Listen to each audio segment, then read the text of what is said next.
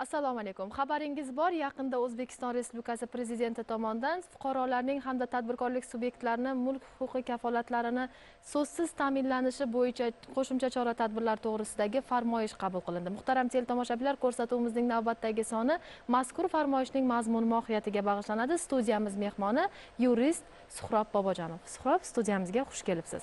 Rahmat. Suhbatimiz avvalida aytib o'tsangiz mana e, yuqorida mana shu e, fuqarolarni tadbirkorlik subyektlarini mulk huquqini kafolatlanishini so'zsiz ta'minlanishi to'g'risidagi farmoyish. Bugungi kunda qabul qilinishini zarurati nimada edi buning juda katta ahamiyati va o'rni bor edi hozirgi kunda chunki e, o'zbekiston respublikasida eng muhim bir masalalardan biri fuqarolarni eng bir e, qiziqqan masalasidan biri hisoblanib turibdi bu snos masalasi. E, chunki hozirgi kunda biz bilamizki juda katta hududlar o'sha hududlarda juda katta obodonlashtirish va qurilish ishlari olib borilmoqda aynan shu holatda fuqarolarning o'rinli bir savollari tug'ilib kelyapti. Bu bo'yicha ko'pgina advokatlarga yuristlarga murojaat qilyapti. Hozir shu ko'rsatuv davomida man bu bo'yicha bir huquqiy tushuncha berishga harakat qilaman lekin bu fuqarolarimizdan e, bir to'g'ri tushunishlarini so'rab qolardimki bitta ko'rsatuv bilan buni qamrab olishni imkoni yo'q. Chunki judayam e, keng miqyosda va juda ko'p qonun hujjatlari bor bunga doir bu farmoyish o'z vaqtida juda yam o'rinli chiqdi chunki shu paytgacha fuqarolarning ko'pgina e, qonunni qo'llashdagi amaliyotdan davlat organlarini qonunni qo'llashdagi amaliyotdan norozi holatlari bo'layotgandi. Ya'ni oldingi holat qanaqa edi? Hokimlar tuman yoki shahar yoki viloyat hokimining qarori asosida uylar buzilib buzilish jarayoni bo'layotgandi. Bunda ularning mulk huquqi daxlsizligi hamda ularga to'lanadigan kompensatsiyalarda juda ko'pgina xatoliklar e, sodir bo'layotgandi mana shu O'zi narsalarni mana shu xatoliklar deyapsiz. Hozirgi davrgacha qanday huquqiy asoslari bor edi buni o'zi? Buni huquqiy asoslari hozirgi davrgacha ham va hozirgi kunda ham huquqiy asoslari bu o'z navbatida o'zbekiston respublikasining yer kodeksi uy joy kodeksi vazirlar mahkamasining to'qson yettinchi sonli qarorlari hisoblanadi. Mazkur qaror bilan va qonunlar bilan olib qo'yishdan keyingi tartiblar joriy qilingan. To'qson yetti sonli qaror ikki ming oltinchi yilda qabul qilingan bo'lsada ikki ming o'n sakkizinchi yilda unga uchuv bir bandi kirgizilgan bo'lib mazkur band bilan davlat va jamoat ehtiyojlari uchun yerni qaysi holatlarda olib qo'yishning a, bir ro'yxati ko'rsatilgan. Unda aeroport qurish yo'llar qurish temir yo'llar qurish umuman davlat uchun zarur bo'lgan holatlarni o'sha aniq ro'yxati ko'rsatilgan. To'qson yettinchi sonli vazirlar mahkamasi bor edi e, shuni uchuv birinchi bandida aniq ro'yxati ko'rsatilgandi. Endi hozirgi e, farmoyishga qaytadigan bo'lsak bu bilan uchta bosqich joriy qilindi. Ya'ni fuqarolarni noro- norozigarchiligi yoki huquqni qo'llash amaliyotida xato bo'lishini oldini olish maqsadida bu narsa qilindi. Ya'ni unda birinchi bosqichda buzilishi kerak bo'lgan deb bilingan uylar binolar inshootlar ya'ni olib qo'yilishi kerak bo'lgan yerlar ishchi guruh tomonidan o'rganib chiqiladi ro'yxati tashkillashtirib vazirlar mahkamasiga taqdim qilinadi. Vazirlar mahkamasi o'z navbatida buni moliyaviy hamda shaharsozlik normalari asosida o'rganib chiqib bosh vazirga a, kirgizadi. Bosh vazirimizning keyinchalik o'sha tegishli qarorlari bilan bu narsa amalga oshiriladi. Endi oldingi holatlarda a, qanday bo'lgan nima sababdan bunday norozigarchiliklar bo'lgan deyiladigan bo'lsa ko'p holatlarda a, viloyat va tuman rahbarlari hokimlari yoki rahbarlari fuqarolar bilan kompensatsiya masalasida kelisholmagan endi qonunchilikda mana shu joyda bir kamchiligi bor. Prezidentimiz juda to'g'ri ta'kidlab o'tdilar. Oxirgi selektorlardan birida shu aytdilarki aniq tizimi yo'q. Darhaqiqat na yer kodeksida na uy joy kodeksida na boshqa farmoyishda aniq buning protsessi ko'rsatilmagan. Qaysi holatda e, yer davlat foydasi uchun olib qo'yilishi mumkinligi ko'rsatilmagan. Misol tariqasida mana davlat ehtiyojlari deyilganku davlat ehtiyojlari e, terminiga bir e, davlat va jamoat ehtiyojlari deganda biz aniq tushunishimiz kerak bu termin aynan bu davlatga kerak bo'lsa yoki jamoat ehtiyoji uchun bo'lishi kerak. Hokimlar ko'p holatlarda bu yerlarni olib shaxs xususiy firmalarga berib tashkilotlarga berib bunda katta ko'p qavatli binolar qurayotgandi. Davlat ehtiyojini agar birinchi navbatda tushuntiradigan bo'lsak bunda to'g'ridan to'g'ri davlatning bunga nisbatan ehtiyoji bo'lishi kerak. Bular qaysi? Misol tariqasida mudofaa salohiyati. Davlatning bu to'g'ridan to'g'ri ehtiyoji yoki kommunikatsiyalar o'tkazish kerak yoki fuqarolarning noroziligini oldini olish maqsadida yo'llarni kengaytirish kerak yoki temir yo'llarning ko'pay e, o'sha yo'llar o'tkazilishi kerak. Aerodromlar xavfsizlik nuqtai nazaridan yoki boshqa bir harbiy ehtiyojlar nuqtai nazaridan va fuqarolikda foydalanish uchun ham aero- aerodromlarni kattalashtirish bo'lsa bu davlat ehtiyoji hisoblanadi.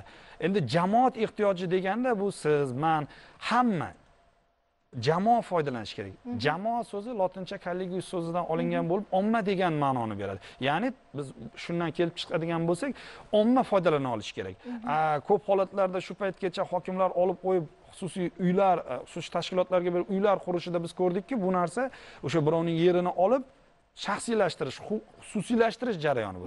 Ya'ni u uylardan kimdir sot- sotib oladida uylarni o'zi foydalanadi o'zi yashaydi uning xususiy shaxsiy mulkiga aylandi.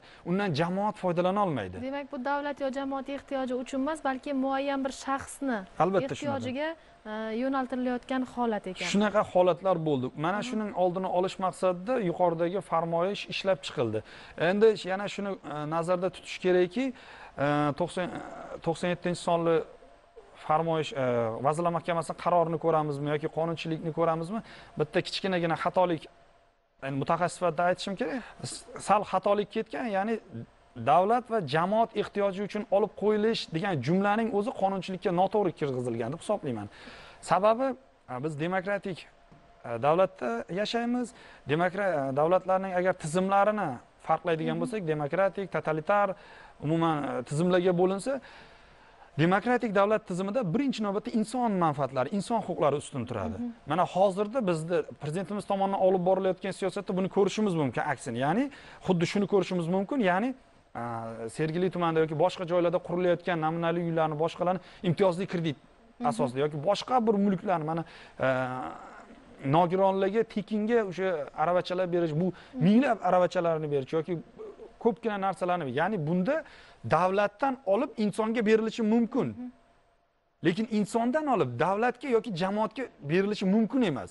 Mana bu narsani hozirgi kunda prezidentimiz siyosatida ko'rishimiz mumkin. Lekin bu qonunlar a, 2006 yilda chiqqan yoki boshqa boshqa undan oldin chiqqan qonunlarda bu narsa o'sha totalitar davlat tizimining ba'zi bir bir unsurlari deymizmi? Bu bizga og'ir bo'lsa ham aytishimiz kerak kirib qolgan. Endi hozirgi kunda dunyo hamjamiyati tomonidan o'zbekiston respublikasida olib borilayotgan siyosatni umuman o'zgarishlar juda yaxshi baholanyapti. Bunga sabab o'zbekistonda hozirgi kunda aybini tan olish siyosati bormoqda. Qilingan shu paytgacha va hozirgi kundagi xatolar yoki qabul qilingan qonunlar qaror farmoyishlarning xatosi agarda u xatoligi aniqlanadigan bo'lsa ko'zga ko'rinib qoladigan bo'lsa bu tan olinib zudlik bilan unga o'zgartirishlar kiritilmoqda. Man o'shaning uchun taklif berardimki davlat va jamoat ehtiyoji uchun olib qo'yish degan so'zlarni e, sotib olish so'ziga o'zgartirish kerak. Bunda insonning e, aniq mulk huquqining kafolati ta'minlanadi. Mana shu joyda endi ko'p e, noto'g'ri tushuncha hozirgi kunda ommaviy axborot vositalari deymizmi endi bu internet tarmoqlarini nazarda tutyapman. Shunday tushunchalar hosil bo'lyaptiki demak o'zbekistonda mulk huquqi ta'minlanmagan shu paytgacha himoya qilinmagan yo'q. Mulk huquqi ta'minlangan. Misol uchun 2012 yildagi xususiy mulk va mulkdorlar manfaatlarini himoya qilish to'g'risidagi qonunning yettinchi moddasiga qaraydigan bo'lsak u yerda aniq ko'rsatilgan. Davlat organining qaroriga asosan biror bir vaziyat duch kelib agarda mulkdor va davlat organi o'rtasida nizo kelib chiqadigan unda qonunlarda bir e, bo'shliq keladigan yoki bir qarama qarshiliklar yuz beradigan bo'lsa barcha narsalar shu yerda tatbiq etishli mulkdorning huquqlariga huquqlari ustunligi tan olinsin. Ya'ni mulkdorlar huquqini ustunligi prinsipiga asosan tan olinsin deyilgan. Bundan ham ko'p ham qonuniy asoslangan. Albatta bu o'zbekistondagi qonun. Qarang lekin shunga qaramasdan mana yuqorida siz e, vazirlar mahkamasini to'qson yettinchi son qarorini ham aytib o'tdingiz. Bu aynan mana shu e, buzilishlar e, snoslar holati bo'yichada huquqiy asosi mavjud ekan qaysidir ma'noda e, davlatimiz demak vazirlar mahkamasi tomonidan bu ta'minlanib qo'yilgan aholini manfaati birinchi o'rinda. Lekin nima uchun bugun mahalliy hokimiyatlarda hokimlarimiz tomonidan mana shu holatni bilib turib buzilishimi yoki bu e, balki xalq manfaatini o'ylamagan holda amalga oshishimi? Buni siz yurist sifatida qanday baholaysiz? Ya'ni mana shu jarayonda aynan mana shu tizimni amalga oshirilishida nima qaysi mexanizm ishlamayapti? Bu yerda e, biz norozilikni kelib chiqishiga asl sabab nima bo'lgan?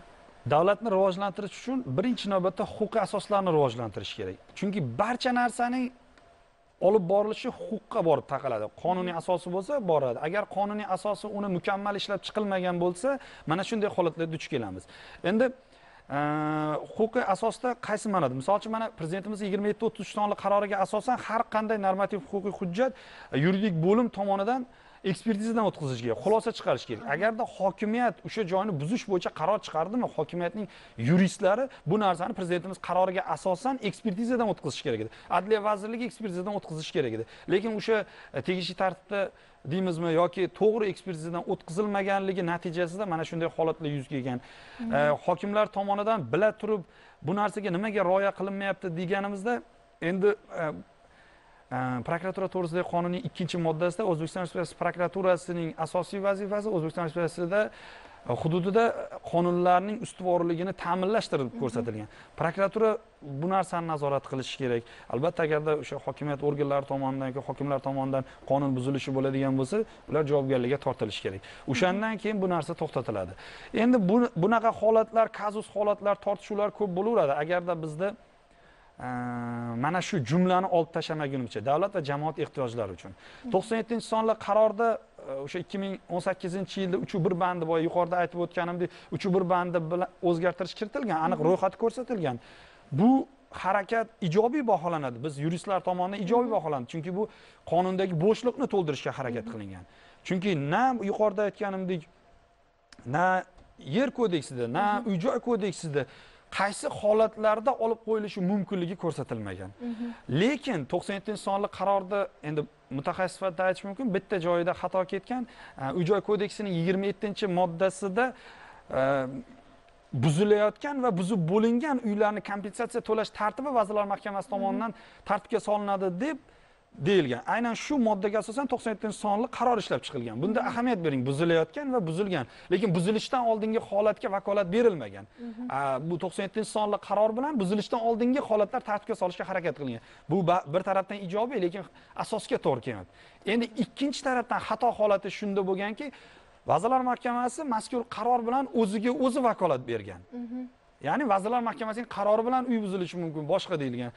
Eng achinarlisi mazkur e, uch bir bandi bilan prezidentga vakolat berilgan prezident qarori bilan. O'zbekiston respublikasining normativ huquqiy hujjatlar to'g'risidagi qonunida qonunga asosan biz bilamizki prezident vazirlar mahkamasiga huquq nimanidir bajarish bo'yicha vakolat berishi mumkin. Lekin vazirlar mahkamasi prezidentga huquq yoki vakolat berish e, mumkin emas. O'shaning uchun umuman e, har qanday qarorni qonunlarni demokratik prinsipdan kelib chiqib qayta ko'rib chiqish qayta ko'rib chiqib uni xatlovdan o'tkazish kerak. Va bunda mulk huquqini aniq lo'nda qilib hech qanday holatda buzilmasligini inobatga olish kerak keyin shu yerda huquqni bir noto'g'ri qo'llash holati ketyaptiki ya'ni mulk huquqi daxlsiz e, mulk e, yerning mulki ustida turgan mulk bo'lsa fuqaroni mulki hisoblanadi. Mulkchilik to'g'risidagi qonunimizda xususiy mulk to'g'risidagi qonunimizda aniq ko'rsatilganki mulklarning shaklidan qat'iy nazar barchasi teng huquqlidir deyilgan. Mhmm. Endi yer davlatniki va ustidagi mulk insonniki bo'lgani bilan ular avvalambor biz o'sha mulkka asosan teng huquqli hisoblanadi. Va e, xususiy mulk va mulkdorlar huquqini himoyasi e, daxlsizligi to'g'risidagi qonunga asosan yettinchi moddasiga asosan davlat va fuqaro o'rtasida umuman davlat organi va fuqaro o'rtasida qarama qarshilik yuzaga keladigan bo'lsa fuqaroning mulk huquqi ustunligi so'zsiz tan olinishi ko'rsatilganini inobatga olib mulk huquqi buzilmaydi. Keyin yana qonundagi shunday kamchilik borki a, agarda mulk huquqi olib qo'yilishi mumkin. Qaror chiqarib uni rozi qilib. Agarda rozi bo'lmasachi rozi bo'lmasa qanday olib qo'yiladi? Bu protsess aniq ko'rsatilmagan. Mana unga kompensatsiya to'laymiz dedik boshqa dedik lekin u rozi bo'lmayapti. Sababi e, u bilan mana fuqarolar bilan suhbatlashadigan bo'lsak fuqarolar aytyaptiki e, bu uy deydi man uchun bebaho deydi. Manga deydi bozor narxida hisoblayapti. Agarda shunaqa bo'ladigan bo'lsa bozordan ol bu narsani deyapti mana narx aslida hamma narsa moliyaviy masalaga borib taqaladi Ha, moliyaviy masalaga. aslida o'sha e, mahalliy hokimiyatlarda hokimlarimizni tomonidan kompensatsiya to'lamaganlik holati yoki bo'lmasam ularni o'sha e, buzilayotgan uyini o'rniga qurilish e, quriladigan endi quriladigan uyga ko'chib o'tish evaziga ularni vaqtincha hattoki chaylalarda yashash holatini ham biz ko'rdik ayrim viloyatlarda. Aynan e, mana shu moliyaviy masalalarga borib taqalganligi nuqtai nazardan siz mana yurist sifatida. Mana shu e, hozir qonunlarga mana takliflaringizni aytib o'tdingiz e, qayerda kamchiliklar borligini ko'rsatib o'tdingiz. Lekin kompensatsiya to'lashni o'zini ham alohida tartibga solish kerak emasmikan shu haqida nimalar deya olasiz albatta tartibga solish kerak. Oldingi mana shu farmoyish chiqishidan oldin bu qanday amalga oshirilardi bu ekspertizaga berilardi ekspertizada uy narxlanardi ekspertiza e, o'sha mustaqil baholovchilar tomonidan va o'sha narx berilardi. Bu narxdan e, tepa qismini yoki ko'prog'ini o'z o'zidan hokimiyat berishi haqqi bo'lmasdi keyin sud tartibida ko'rilardi. Hozir mazkur farmoyish bilan bitta yaxshi jumla kiritildiki ochiqchasiga o'sha uyni egasi mulkdor bilan suhbat olib borilishi kerak. Ya'ni ochiqchasiga shu qanchaga sotasiz nima qilasiz sotishga mana shuncha narx ochiqchasiga ketish bir jumlalari kirgizildi. Bu narsa juda o'zini yaxshi ijobiy e, natijasini beradi manimcha kelgusida. Endi yana bitta holat duch kelamiz. O'zbekistonda shaharlarda ikki uch to'rt million aholi yashaydi. Ba'zi bir misol uchun tokioga o'xshab yoki boshqa bir seulga yoki boshqa boshqa e, shaharlarga o'xshab qirq millionlab odam yashamaydi bizda aynan o'sha joyni olishimiz kerak degan u tushunchani o'zi sal bir qaysidir ma'noda noto'g'ri. Mana agarda ko'radigan bo'lsak oldingilar e, olinish jarayonlarini ko'radigan bo'lsak mudofaa salohiyati uchun boshqa uchun boshqa uchun kamdan kam olingan. Agarda shaharda o'sha kimningdir uyi olib qo'yilishi kerak bo'lsa xuddi shu u inson emas balki boshqa bir insonni mulkini olib ham sotib olib ham shu maqsadlarni bajarsa bo'ladi. Ma- bajarsa bo'ladi o'sha nuqtai nazardan kelib chiqadigan bo'lsak mulkni baribir sotib olish mulk daxlsizligini ta'minlash judayam zarur hisoblanadi. Kompensatsiya to'lash masalasiga keladigan bo'lsak agarda bu davlatga kerakmi bizga jamoatga kerakmi jamoat to'layotgan soliqlar evaziga o'sha insonni rozi qilib olinishiga odamlar rozi bo'lishi kerak. Ya'ni o'sha yo'lda e, tirbandliklarni oldini olish uchun u ham begona boshqa bir odamdan olinmayapti. O'sha jamoat ehtiyoji uchun jamoatdan yig'ilgan soliqlar evaziga olinyapti. Jamoat manfaati uchun jamoat rozi bo'lishi kerak shu narsaga. Masalaning yana bitta tarafi bor o'sha yuqoridagi farmoyish bilan ishchi guruh tuzilib o'sha joylarda xatlovlar o'tkazilib xat ehm, bular aniq ro'yxat tuzilib vazirlar mahkamasiga taqdim qilinadi deyildi. Oldingi safarlarda qanaqa edi? Mana misol uchun mana shu ko'rsatuvga tayyorlanish bosqichida man yakkasaroy tumanida bir o'zimni bir nima deydi bir qiziqishim tufayli bir qiziqib ko'rganimda ikki ming o'n yettinchi yilda shahar hokimini va hozirgi kunlarda yakkasaroy tuman hokimining qarorlari shahar hokimining qarorlari bilan bir qiziq holatga duch keldimki misol uchun yaxshi boy xonadonlar uylari buzilmasdan ikkita tarafidagi o'rtasidagi bir o'rta aholi yoki kam ta'minlangan insonlarni uylari buzilishga snosga tushganlik holatini ko'rdik. Endi bu narsani o'zida mana shu yerda ham ijtimoiy adolat prinsiplariga zidligini ko'rsak bo'ladi. Chunki biz bitta narsani tushunishimiz o'rtada kerak. nima quriladi? Ikkita uy o'rtasida. albatta nima quriladi? Bu yerda ham bir buzib qanaqadir bir dom qurilishi mumkin bir e, ko'pxona ko'p xona yoki boshqa narsa qurilishi mumkin. Lekin bitta narsani tushunishimiz kerak ijtimoiy adolat normasi bor ijtimoiy adolat prinsipi bor. O'sha eng rivojlangan shaharlarda ham eng rivojlangan davlatlarning eng rivojlangan shaharlarida ham vashingtonda ham nyu yorkda ham londonda ham shu bon shahrida ham boshqa boshqa shaharlarda ham aholining nafaqat boy qatlami o'rta va kam ta'minlangan qatlamlari bor. U kelib turib misol uchun kimningdir kam ta'minlan biz uni uyini buzish yoki olib qo'yish emas uni yana o'sha rivojlantirish agarda maqsadlarini ko'zlasak to'g'ri bo'ladi. Suhrob aka mazmunli suhbatingiz uchun sizga tashakkur. Rahmat sog' bo'linglar. Eslatib o'tamiz bizning bugungi suhbatdoshimiz yurist suhrob bobojonov bo'ldilar. Muhtaram teletomoshabinlar shuning bilan bugungi ko'rsatuvimiz o'z nihoyasiga yetdi. Xayr salomat bo'ling